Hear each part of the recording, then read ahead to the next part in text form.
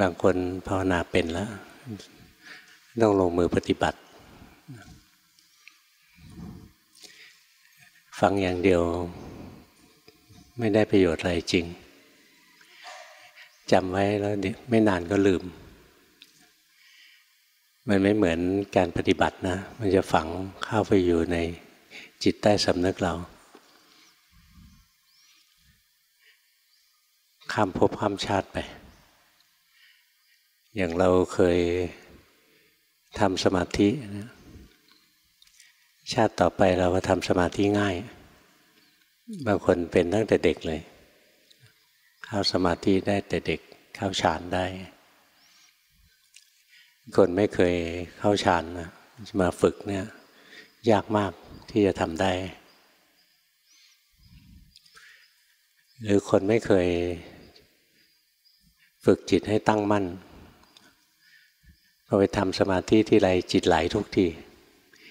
ไหลเข้าไปแช่อยู่ในอารมณ์มันเดียว เวลาทำสมาธิอย่างเรารู้ลมหายใจ จิตมันไหลไปรวมเข้ากับลมหายใจพอลมหายใจสั้นสั้นลงนะกลายเป็นแสงนะจิตจะไปรวมกับแสง จิตเคลื่อนไปไม่เห็น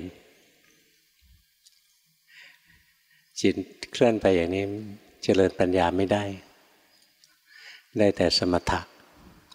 ได้ความสงบอย่างเดียว ต้องมีจิตตั้งมั่น เป็นคนดูนะเป็นผู้เห็นปรากฏการณ์ทั้งหลายของรูปธรรมนามธรรม ถึงจะเดินปัญญาได้ นี่คนที่ไม่เคยฝึกให้จิตตั้งมั่น หายากนะคนที่ฝึกให้จิตตั้งมั่น คนที่ทำสมาธิส่วนใหญ่เนี่ยฝึกให้จิตสงบ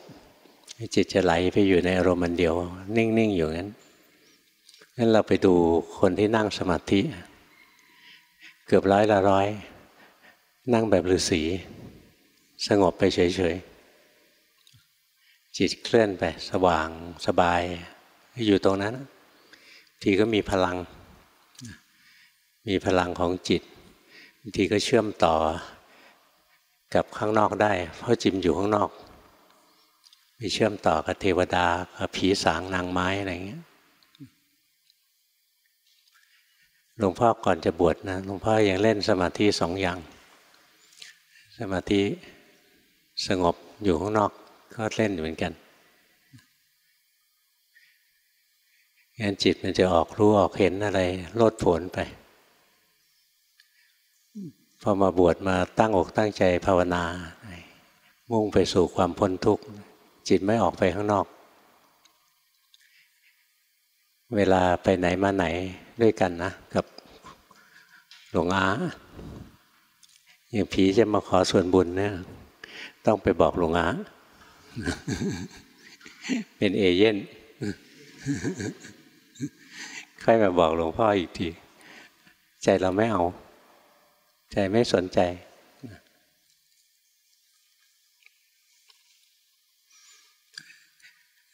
เนี่ยสมาธิออกนอก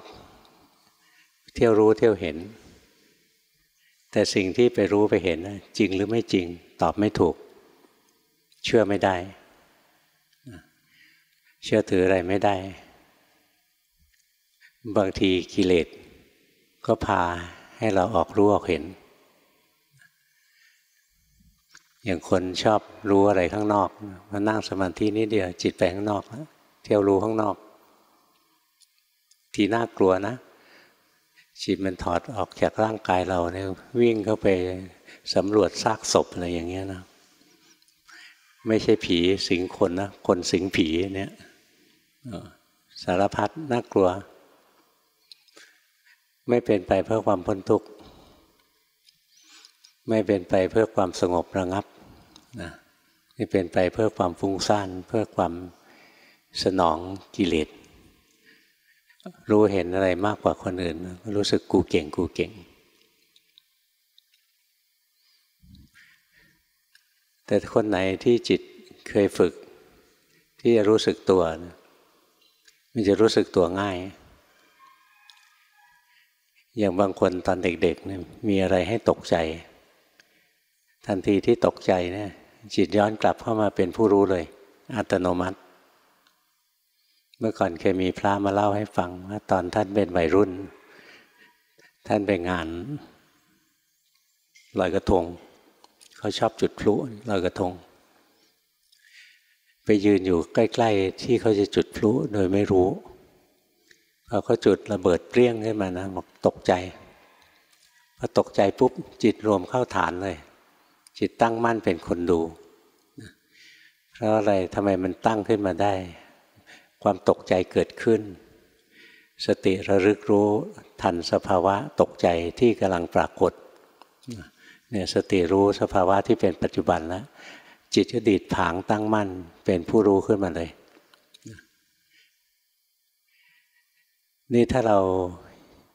จะรอให้ตกใจ แล้วก็หลุดขึ้นมาเนี่ยบางทีไม่ค่อยตกใจ พอตกใจก็สติแตกไม่ยอมขึ้นมา ตัวผู้รู้ไม่ยอมขึ้นมางั้นเวลาเราฝึกเราไม่ได้มาฝึกสภาวะตกใจ เราดูสภาวะอื่นที่มันเกิดบ่อยๆ สภาวะที่เกิดบ่อยคือสภาวะที่จิตไปคิด สภาวะจิตคิดเนี่ยเกิดบ่อยที่สุด จิตไปดูจิตไปฟังเนี่ยยังรองลงมาอย่างเราหลับตาอยู่ยังคิดได้เลย เอามืออุทูไว้เราก็ยังฟัง ใจมันยังคิดได้ เราไม่ฟังแต่ว่าใจมันยังคิดได้งั้นจิตคิดนี่เป็นสภาวะที่เกิดบ่อยที่สุด เรารู้ทันจิตที่คิด ไม่ใช่รู้เรื่องที่คิดนะ รู้เรื่องที่คิดหมายังรู้เลย หมาคิดอะไรหมาก็ยังรู้เรื่องที่คิด ไม่ใช่อัศจรรย์ แต่ที่พวกเราฝึกเนี่ยเราฝึกรู้ว่าจิตคิด ไม่เหมือนกันนะ รู้ว่าจิตคิด ไม่ใช่รู้เรื่องที่จิตคิด งั้นบางคนบอกว่าหลวงพ่อบอกให้รู้ความคิด รู้ความคิดเรื่องราวที่คิดใช้ไม่ได้นะ ถ้ารู้อาการคิดของจิตอย่างนั้นแหละเรียกว่ารู้ทันนะเป็นสภาวะอาการคิดของจิต เรื่องราวที่จิตคิดเป็นบัญญัตินะงั้นครูบาอาจารย์จะสอนให้รู้ทันจิตที่คิดนะส่วนมากจะไปจำเป็นว่าให้รู้ทันความคิดไปคิดอะไร ไร้สาระที่สุดเลย เสียสาระสำคัญไป ถ้าเมื่อไหร่เรารู้สภาวะที่เป็นปัจจุบันสติรู้ทันปั๊บสมาธิจะเกิดอัตโนมัติเลยจิตที่ตั้งมั่นเนี่ยจะเกิดขึ้นโดยอัตโนมัติ เพราะงั้นทันทีที่รู้ว่าจิตคิดนะจิตรู้ก็เกิด จิตคิดนี่เกิดบ่อยที่สุดทั้งวัน หัดดูตัวที่เกิดบ่อยๆ บางคนบอกว่าถ้าฟ้าร้องทีหนึ่งจะรู้สึกทีหนึ่งนะ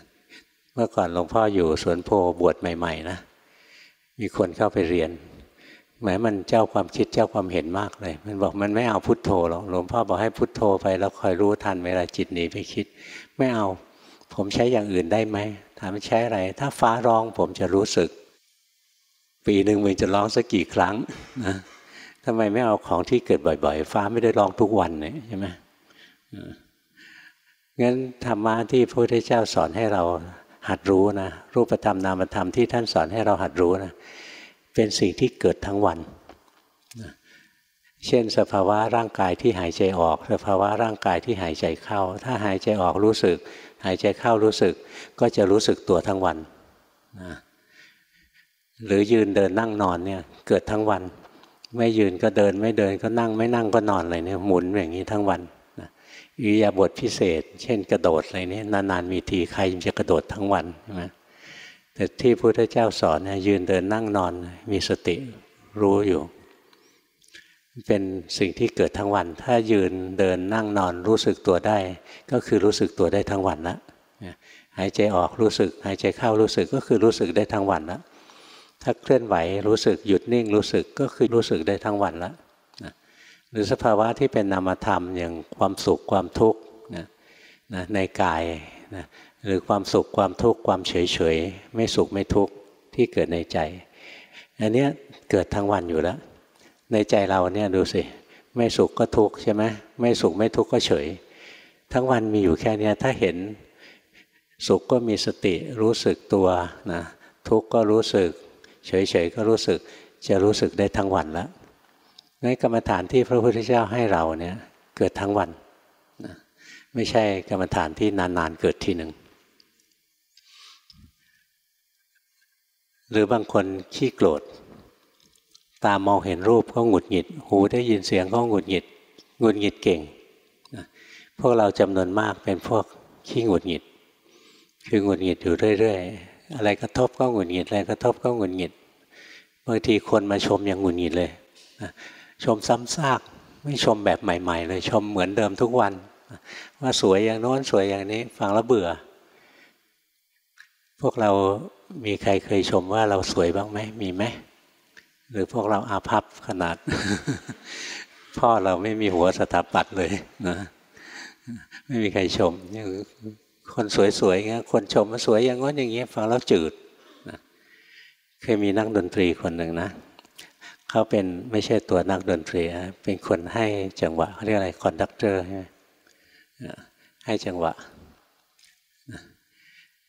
คนพอไปแสดงดนตรีงานใหญ่ๆนะคนไปชมแกว่าโอ้ยให้จังหวะเก่งอย่างนี้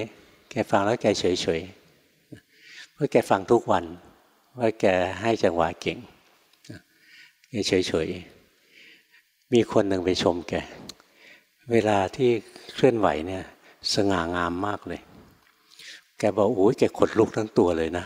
ปลื้มมากเลยแล้ว คำนี้จำเที่ยวไปเล่า เจอใครก็เล่าไปเรื่อย ๆ นะไม่มีใครชมไอ้แบบนี้ จิตชอบมากนะนี่เราเวลาออกนอกเรื่องไปไกลแล้วเดี๋ยว เดี๋ยวพวกเรายังงงนะหัดรู้สภาวะที่เกิดบ่อยๆสมมติว่าเราขี้โลภนะใครเขาชมเราก็ปลื้มอย่างเงี้ย เราก็ดูจิตโลภ จิตมีราคะนะกระทบอารมณ์ได้ยินอย่างนี้ ก็ปลื้มมีความสุขนะตามองเห็นในนี้ก็ชอบใจ บางคนมันมีบุญนะ เจออะไรมันชอบหมดเลยนะเจอของไม่น่าชอบนะก็ยังชอบนะไปเจอคนหับของขายอยู่ข้างถนนนะกินเฉาก้วยอะไรอย่างนี้นะก็มีความสุข เท่ากับพวกที่กินของแพงเหมือนกัน พวกนี้พวกบุญมากนะ เปลี่ยนชื่อเป็นนายบุญมากได้นะคือมันกระทบอารมณ์อะไรเนี่ยล้วนแต่เป็นอิทธารมบุญให้ผลมานะพวกที่กระทบอะไรที่มีความสุขเยอะๆนะราคามแทรกง่ายตามองเห็นก็มีความสุข หูได้ยินเสียงก็มีความสุข จมูกได้กลิ่นลิ้นได้รสกายกระทบสัมผัสใจคิดนั่นก็มีแต่ความสุขพอมีความสุขราคะมันจะแทรกง่าย มีความสุขแล้วมันจะชอบใจเนี่ยถ้าเราเป็นคนที่ราคาเกิดทั้งวัน กระทบอารมณ์ทีราคาเกิดทีกระทบทีเกิดทีเราก็ดูราคะ ราคะเกิดทั้งวันจิต ทั้งวันจะมีสองชนิดเท่านั้นมีจิตที่มีราคะกับจิตที่ไม่มีราคะ จิตที่ไม่มีราคาจะเป็นจิตที่มีโทสะก็ได้ เป็นจิตมีโมหะเฉยๆก็ได้เป็นจิตที่เป็นกุศลก็ได้แต่ว่ามองในภาพรวม ทั้งวันจิตมีสองชนิดเองคือจิตที่มีราคะกับจิตไม่มีราคะนี่บางคนบุญน้อยกระทบอารมณ์ทีไรล้วนแต่เป็นอารมณ์ที่ไม่ชอบใจเรียกอนิจฐารมกระทบอารมณ์ที่ไม่ชอบ โทสะจะแทรกนะ เห็นได้นี่ก็ไม่มีความสุขนะโทสะก็แทรก เห็นได้นี่ก็ไม่มีความสุขมีทุกข์ขึ้นมานะโทสะก็แทรก ทั้งวันเราก็ดูจิต จิตทั้งวันมีอยู่สองอย่างเอง จิตมีโทสะกับจิตไม่มีโทสะนะถ้าจิตมีโทสะก็รู้จิตไม่มีโทสะก็รู้ ก็จะรู้จิตทั้งวันเลยนะเนี่ยจะรู้ได้ทั้งวันเลยเนี่ยกรรมฐานที่พระพุทธเจ้าให้เรานะเป็นกรรมฐานที่เกิดทั้งวัน งั้นเราหาเครื่องอยู่นะที่เป็นรูปธรรมหรือนามธรรมก็ได้ เพื่อจะได้มีสติทั้งวันนะหายใจออกรู้สึกตัว หายใจเข้ารู้สึกตัว ถ้าแค่นี้ได้แค่นี้พอแล้วไม่ต้องไปดูอย่างอื่นแล้วนะหายใจออกรู้สึกหายใจเข้ารู้สึกก็รู้สึกทั้งวัน เพราะฉะนั้นเราฝึกกรรมฐานเนี่ยฝึกอันเดียวพอนะอันที่เราถนัดที่สุดขี้โกรธก็ดูทั้งวันมีแต่จิตโกรธกับจิตไม่โกรธ ขี้โลภทั้งวันก็ดูจิตโลภกับจิตไม่โลภชอบฟุ้งซ่านชอบหลงใจลอย ทั้งวันมีอยู่สองอย่าง จิตหลงกับจิตไม่หลงเนี่ยดูอย่างนี้เรื่อยๆหรือดูสุขทุกข์ทั้งวันก็ไม่สุขก็ทุกข์ไม่สุขไม่ทุกข์ก็เฉยเฉยทั้งวันมีแค่นี้เองดูได้ทั้งวัน สติก็เกิดทั้งวันงั้นสติปัฏฐานในเบื้องต้นเนี่ยเป็นไปเพื่อความมีสติตลอดเวลา นะที่ตื่นอยู่ ถ้าหลับแล้วก็แล้วไป ถ้าหลับแล้วสติอัตโนมัติจะทำงานได้ พวกเราต้องฝึกจนถึงจุดที่สติอัตโนมัติทำงานนะถึงจะเข้าข่ายที่เริ่มปลอดภัยนะถ้าสติอัตโนมัติยังไม่ทำงานเนี่ยอย่างเวลาเราจะตายมันจะเกิดนิมิต นิมิตไม่ดีเกิดขึ้นนะสติไม่ทำงานเนี่ยจิตจับนิมิตที่ไม่ดีนั้นเลยนะไปสู่ทุคติ แต่ถ้าเราฝึกอยู่ในชีวิตประจำวันจนชำนาญนะ จิตโกรธขึ้นมารู้ จิตอะไรขึ้นมารู้นะสภาวะอะไรเกิดรู้สึกรู้สึกรู้สึกไปนะเวลาจะตายเกิดนิมิตนะเช่นเห็นนรกใจกลัว ใจกลัวรู้ว่ากลัวปั๊บนะนรกสลายตัวเลย นรกเนี่ยเราสร้างเองนะ ไม่ใช่ว่านรก เป็นเมืองเมืองหนึ่ง มีลิมิตรับพลเมืองได้ห้าแสนเกินห้าแสนเรารับไม่ได้ไม่ใช่ เราสร้างนรกของตัวเองขึ้นมาได้เสมอ เพราะงั้นไม่มีขอบเขตใหญ่ไปได้เรื่อยๆนะถ้าเมื่อไหร่สติอัตโนมัติเกิดนะจิตจะเป็นกุศล เมื่อจิตเป็นกุศลเนี่ยไปอาบายไม่ได้เพราะฉะนั้นต้องฝึกนะ เวลาฝันร้ายแล้วยังตกใจกลัวไหมเรารู้สึกไหมว่าฝัน ใครทำได้บ้าง เวลาฝันร้ายเรารู้ว่า รู้ว่ากลัวสมมติกลัวรู้ว่ากลัวขึ้นมาโกรธรู้ว่าโกรธ เวลาฝันแล้วโกรธเคยเป็นไหมเรารู้ไหมว่าจิตกำลังโกรธตกนรกได้นะยังมีโอกาสตกนรกนะ ไม่แกล้งขู่นะ นี่เรื่องจริง เพราะเวลาที่จะตายเนี่ยมันจะมีนิมิต นิมิตมันเหมือนฝันนั่นแหละนะ แต่ว่านิมิตเนี่ยแสดงได้สามลักษณะ อันหนึ่งแสดงกรรมที่เราเคยทำแล้วจนชำนาญนะเช่นทุกวันต้องเชือดคอไก่วันละตัว เอามาแกล้มเหล้าอะไรเงี้ยเวลาจะตายก็จะเห็นการเชือดไก่ นิมิตบางอย่างแสดงสัญญลักษณ์ของการทำกรรม หรือเครื่องมือที่เราใช้ทำกรรม เห็นมีดที่ใช้เชือดไก่อย่างนี้ก็ได้ นิมิตอย่างที่สามเนี่ยเห็นที่ที่เราจะไปเกิดนะเห็นที่ที่จะไปเกิด เกิดเป็นหมาเป็นแมวแล้วก็เห็นหมาเห็นแมวขึ้นมานะนิมิตพวกนี้จะเกิด ถ้าสติระลึกรู้นะระลึกรู้ปุ๊บนิมิตที่ไม่ดีจะดับ แล้วมันจะเกิดนิมิตที่ดีขึ้นแทนงั้นถ้าพวกเราวัดตัวเองได้เลย ถ้าเวลาฝันร้าย แล้วสติไม่เกิดเนี่ยถือว่ายังปฏิบัติไม่พอนะยังเสี่ยงอยู่ น่ากลัวไหมเออต้องไปฝึกนะนี่บางคนมันคิดว่าชาติหน้าไม่มีผีไม่มีเปรตไม่มีอสุรกายสัตว์นรกไม่มี มันงี่เง่าเองอะมันไม่เห็นนะนะพวกที่ชอบแต่ฟิสิกส์นะคิดว่าฟิสิกส์คือคำตอบทั้งหมด ฟิสิกส์อาจจะตอบได้ทั้งหมดนะถ้าฟิสิกส์สมบูรณ์ ถ้าฟิสิกส์ไม่สมบูรณ์ยังตอบได้ไม่หมด แต่ท่วงทำนองของคนเรียนวิทยาศาสตร์นะบางทีไม่ดี จะดูถูกสิ่งซึ่งตัวเองยังไม่รู้จะปฏิเสธไว้ก่อนลงมาศึกษาเรามาภาวนานะ เราจะรู้ว่ามันของจริงๆนะ ไม่ได้หลอก เคยมีคนหนึ่งนั่งรถทัวร์ไปเชียงราย มันไปมืดมืดตื่นมาก่อนจะสว่างนะอยู่แถวลำปางเป็นป่า ในยุคนั้นยังเป็นป่าอยู่ เห็นพระเดินทุดงอยู่ พระนี่ตัวสูงเท่าภูเขาสว่างสวัยนะผ่องใสงามมากเลยพระนี่ก็สงสัยทำไมเป็นเปรตแล้วเที่ยวเดินหาทางออกจากป่าอยู่นะ จิตมันก็บอกขึ้นมาบอกว่าเป็นพระธุดงหลงป่านะ ถือศีลมาอย่างดีเลยพอหลงป่าหลายวันเนี่ยหิวมาก จิตใจเนี่ยมีโลภะเกิดขึ้นตามความหิวนะโลภอยากได้อาหารมากเลยทุรนทุรายหาทางออกจากป่าด้วย หาว่าจะมีอะไรบินทบาทได้หนึ่งนะสุดท้ายตายด้วยจิตที่โลภายด้วยจิตที่โลภไปเป็นเปรตแต่ถือศีลมาอย่างดีนะ เป็นเปรตที่สวยงามนะเนี่ยกรรมให้ผลนะมันจัดสรรมา เพราะงั้นเปรตบางตัวสวยนะ สวยกว่าพวกเราอีกนะพวกเราแยกกว่าเปรตบางตัวนะเนี่ยกรรมมันจะให้ผลอย่างรวดเร็วเลยนะงั้นเราต้องฝึกจนกระทั่งสติอัตโนมัติเกิด บางคนฝึกง่าย เพราะชาติก่อนเคยได้มาแล้วนะเคยฝึกมาแล้วนะเคยเจริญสติปัฏฐานจนสติเกิดอัตโนมัติมาแล้วเราตายยังไม่ได้มรรคผลนะสติอัตโนมัติเกิดง่าย มีอะไรมากระทบที่แรงกว่าปกตินิดเดียว สติอัตโนมัติเกิดเลย เช่นเขาจุดพลุโป้งขึ้นมาตกใจสติเกิดเลย เห็นจิตที่ตกใจนะสภาวะรู้ก็เกิดขึ้นเลย บางคนเคยแยกขัน เคยฝึกแยกขันมา ชาตินี้แยกขันง่าย บอกคำสองคำก็แยกได้แล้ว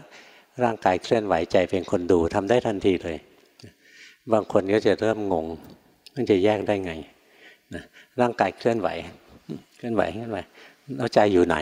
นะหาใจไม่เจอนะไปจับใจอยู่อ้าวลืมดูร่างกายอีกแล้ว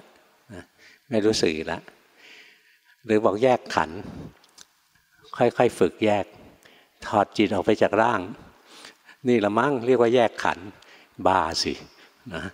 แยกอะไรอย่างนั้นไอ้นั้นถอดจิตออกจากร่างนะแล้วก็เที่ยวไปที่อื่นได้ เที่ยวไปนานๆ ก็กลัวว่ามันจะไม่กลับมานะก็ต้องรีบกลับมา การแยกขันไม่ใช่การถอดจิตออกจากร่างนะไม่ใช่ดึงจิตออกไปไว้ข้างบน แล้วก็มองลงมาข้างล่างนะจิตก็อยู่กับขันปกตินี่เอง แต่เรารู้ว่ามันเป็นคนละขันกัน นะร่างกายก็ขันหนึ่งเวทนาก็เป็นอีกขันหนึ่งนะความจำก็เป็นอีกขันหนึ่ง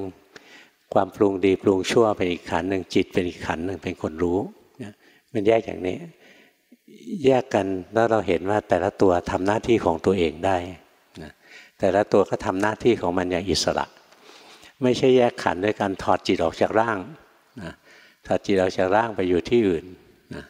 อันนั้นไม่ใช่การแยกขัน แยกขันให้ขันอยู่อย่างนี้แหละ แต่มันแยกโดยความรู้สึกมันรู้สึกร่างกายเคลื่อนไหวอยู่เนี่ย จิตมันเป็นคนเห็น หรือความสุขความทุกข์เกิดขึ้น จิตมันเป็นคนเห็นโลภโกรธหลงเกิดขึ้น จิตมันเป็นคนเห็นนี่อย่างนี้เรียกว่าแยกนะงั้นไม่ต้องแยกออกไปอยู่นอกร่างกายนะ ถ้าถอดจิตออกนอกร่างกายผิดทันทีเลย เพราะการปฏิบัติเนี่ยไม่ให้เกินกายออกไปนะถ้าเกินกายออกไปไม่ถูกแล้วต้องอยู่ที่กายนะ อยู่ในกายในใจของเรานี้ถ้าเกินกายเกินใจออกไปไม่ถูก เนี่ยคนไหนไม่เคยแยกขันได้นะ ฟังธรรมะว่าให้ร่างกายเคลื่อนไหวใจเป็นคนรู้ก็แยกได้เลย ง่ายๆ บางคนก็เห็นสภาวะแต่ละอย่างแสดงไตรลักษณ์ได้ อันนี้เคยเจริญปัญญามาแล้วนะเคยเจริญวิปัสสนามาแล้ว มันจะไม่เหมือนระดับแยกขัน ระดับแยกขันเนี่ยยังไม่ถึงวิปัสสนา เป็นปัญญาขั้นต้น เป็นปัญญาขั้นต้นยังไม่ใช่วิปัสสนาปัญญา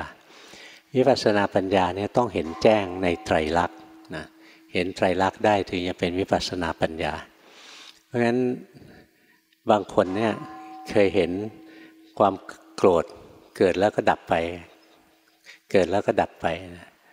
ความโกรธตัวเดียวนี่แหละ เกิดแล้วก็ดับ เกิดแล้วก็ดับนะแต่ถ้าดูว่าเมื่อวานโกรธ วันนี้รู้สึกอะไรเงี้ยอย่างนี้ไม่ได้